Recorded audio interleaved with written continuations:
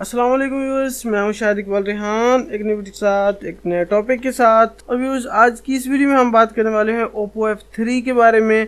Viewers ये एक नया स्मार्टफ़ोन है जो कि लॉन्च किया गया है ओप्पो की जानब से और काफ़ी दिन से इसकी एडवर्टाइजमेंट देखने को मिल रही थी। काफ़ी ज़्यादा मॉडल्स यूज़ किए जा रहे थे।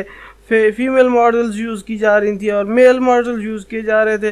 काफ़ी ज़्यादा वेबसाइट्स पर इसके ऐड आ रहे थे, काफ़ी और पता नहीं कहाँ कहाँ इसके हर तरफ़ इसके ऐड नज़र आ रहे थे और फाइनली लॉन्च हो गया है और बस यही कहा कहा जा सकता है कि खुदा पहाड़ निकले तीन कैमरे। और वो इसी के बारे में आज हम बात करने वाले हैं इस वीडियोज़ में। तो सबसे पहले इसकी स्पेसिफिकेशन को देख लेते हैं कि क्या क्या चीज़ें इसमें इस्तेमाल की गई हैं और क्या चीज़ें हम चाह रहे थे कि इसमें क्या कुछ आएगा और क्या कुछ नहीं आया, बल्कि कुछ नहीं आया। नेटवर्क इसमें जो है वो जी एस एम और एल टी ई और एच एस पी ए इस्तेमाल किया गया लॉन्च किया गया है इसी सन दो सत्रह के मार्च में। और व्यूज़ इसका वेट जो है एक सौ पचासी ग्राम है और इसमें डुअल सिम्स हैं, आप नैनो सिम्स इसमें इस्तेमाल कर सकते हैं और इसके अलावा जो इसका साइज़ है वो सिक्स पॉइंट ज़ीरो इंचज़ का है और इसके अलावा इसमें जो दीगर चीज़ें मल्टी टच इसमें अवेलेबल है और कॉर्निंग गुरीला क्लास फाइव इसमें इस्तेमाल किया गया है।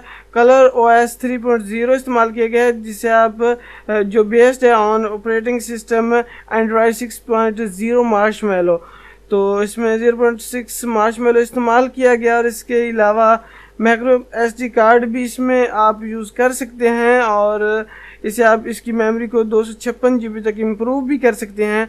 इंटरनल मेमोरी जो है वो सिक्सटी फोर जी बी है और चार जी बी की जो है वो रैम इस्तेमाल इसमें इस्तेमाल की गई है। और इसके इसके अलावा प्राइमरी कैमरा जो इसका है वो सोलह मेगा पिक्सल का है और उसमें आप ऑटो फोकस भी अवेलेबल है और काफ़ी चीज़ें। और जो इसके अलावा इसमें जो सेकेंडरी कैमरा है वो 16 मेगापिक्सल और 8 मेगापिक्सल दो कैमरे इसमें इस्तेमाल किए गए हैं। सेल्फी के सेल्फी के लिए एक कैमरा जो होगा, वो उसे आप सिंगल पर्सन के लिए इस्तेमाल करेंगे और दूसरे कैमरे को आप ग्रुप सेल्फी के लिए इस्तेमाल करेंगे। दो कैमरे इसके फ्रंट पे इस्तेमाल किए गए हैं और बैक पे एक कैमरा इस्तेमाल गया है। तो कुल मिला के तीन कैमरे स्मार्टफ़ोन में इस्तेमाल किए गए हैं और इसके अलावा जो बाकी कुछ भी देख लें आप, कुछ भी ऐसा नहीं है कि जिसे आप कह सकें कि कुछ नया आया और सिर्फ़ आया है तो एक कैमरा इजाफी आया और कुल मिला के तीन कैमरे इसमें इस्तेमाल कर दिए गए हैं। और पता नहीं वीवो और ओप्पो का कोई कंपटीशन हो रहा है कि कैमरे कैमरों को इम्प्रूव करना और ज़्यादा से कैमरे को चार पाँच कैमरे और लेके आने हैं और मोबाइल के नीचे और ऊपर और दाएँ और बाएँ हर तरफ़ कैमरे कैमरे लगाने हैं। मुझे कुछ समझ नहीं आ रही इस चीज़ की कि पता नहीं कैमरों का कंपटीशन हो रहा है या स्मार्टफ़ोन लॉन्च करने की कोशिश पिछले स्मार्टफ़ोन की नस्बत कुछ कैमरे में दो चार मेगापिक्सल का इजाफा किया जाता है और नया स्मार्टफ़ोन बना के लॉन्च कर दिया जाता है। और दीगर फीचर्स में जो है वो जियो टैगिंग टच फोकस है और face detection H D R वगैरह के ऑप्शन भी मौजूद हैं।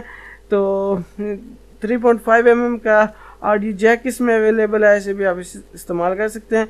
ब्लूटूथ पे इसमें ब्लूटूथ जो है वो 4.1 इस्तेमाल किया गया है विजन और जी पी एस इसमें अवेलेबल है, रेडियो इसमें अवेलेबल नहीं है यू एस बी जो यू एस बी है वो micro U S B two point zero इस्तेमाल की गई है। अजीब बात है, दूसरे मोबाइल जो हैं वो थ्री पॉइंट ज़ीरो या इससे भी आगे बढ़ने की कोशिश कर रहे हैं, और जो ओप्पो है वो टू पॉइंट ज़ीरो से आगे कुछ खिसकने का नाम ही नहीं ले रहा। फिंगरप्रिंट का जो ऑप्शन है, वो भी इसमें अवेलेबल है और अप्रॉक्सीमेटरी कंपास और दूसरे जो है जो सेंसर वगैरह भी वो भी इसमें इस्तेमाल किए गए हैं और कीमत इसकी जो है, वो है तकरीबन पैंतीस हज़ार रुपये। पैंतीस हज़ार रुपये में मिलेगा आपको सिर्फ़ और सिर्फ़ तीन कैमरे आपको मिलेंगे। उन्हें आप इस्तेमाल कर सकते हैं। बैक से भी आप तस्वीर ले सकते हैं। फ्रंट से आप अकेले खड़े हैं तो आप तस्वीर ले सकते हैं कैमरे से। और अगर आपके साथ कोई दूसरा आपका दोस्त आ गया तो आप उससे दूसरा कैमरा इस्तेमाल करते हुए अपने दोस्त की भी तस्वीर लीजिए और ख़ुद भी लीजिए। मुझे समझ नहीं आ रही है कि मैं क्या कह रहा हूँ। बहरहाल, एक ऐसा स्मार्टफ़ोन है जो कि पहले तो मैंने कभी इस तरह का नहीं देखा।